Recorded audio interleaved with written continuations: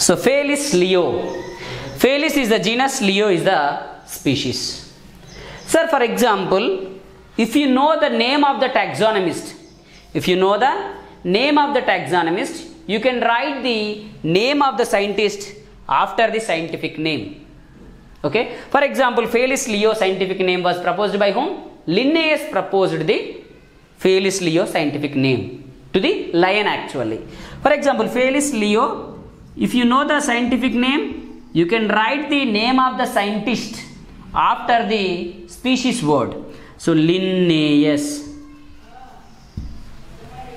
Or Felis leo Lin or Felis leo L means after the scientific name the taxonomist name can be written either in the full form or in the abbreviated form.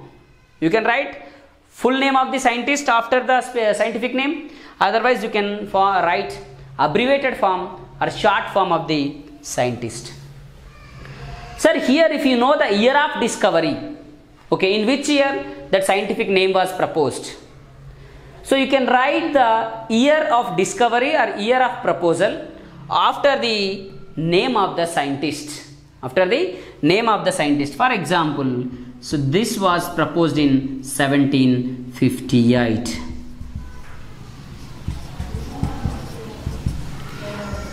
Okay, means the 1758 is the year, Linnaeus is the name of the taxonomist, and this is scientific name.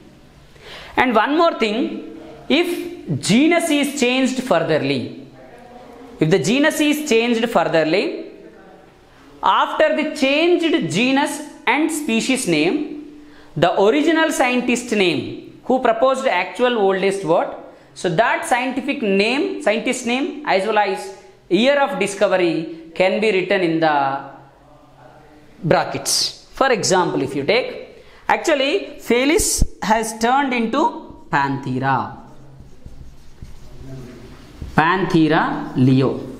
So this is the new scientific name of the lion. Panthera leo is a changed genus name. Actually, Felis was the original genus name, but this would Felis is changed into Panthera. So Panthera leo, and you can write the name of the scientist as well as year of the discovery in the brackets. So now you can write Linnaeus 1758. So these are the steps we have to follow when we are doing binomial nomenclature. This is very important 4 marks question. So describe the process of binomial nomenclature. In the binomial nomenclature, it was proposed, uh, popularized by Carolus Linnaeus in the 10th edition of his Systema Naturae book. And uh, as per binomial, two words are present in the scientific name. First name is genus, second name is species. Species is uh, genus is a noun, species is an adjective. Genus starts with capital letter, species starts with small letter. Okay, here we can see Leo, Leo, L small letter.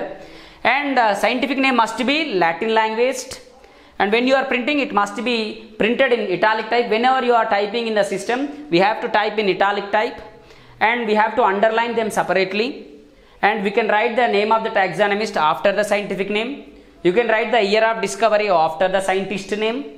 And if the genus name is changed original genus proposed scientist name can be written in the brackets or parentheses. So this is about the binomial nomenclature